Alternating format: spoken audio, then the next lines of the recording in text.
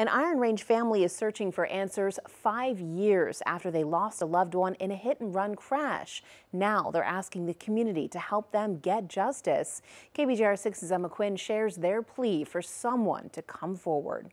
He was in a lot of things growing up um, basketball and baseball and 4-H and you know just, and then Boy Scouts. An Iron Range family is still looking for answers as to what happened to their loved one, Scotty Christensen. Scotty was killed in a hit and run near Highway 100 in Aurora on October 2nd, 2016. We know that uh, it was a vehicle that uh, that hit him.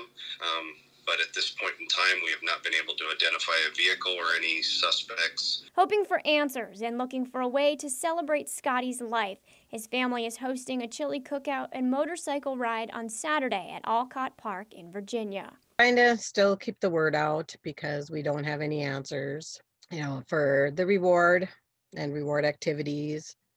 And we want to raise money to do some scholarships those scholarships are for those looking to enter the welding or blacksmith industry, something Scotty had a passion for. The St. Louis County Sheriff's Office is hopeful keeping Scotty's case in people's minds will lead to some answers.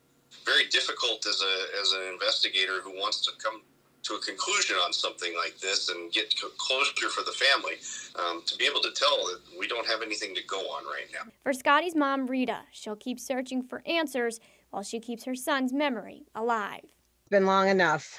It's hard enough. It's hard to move on when you don't have the answers.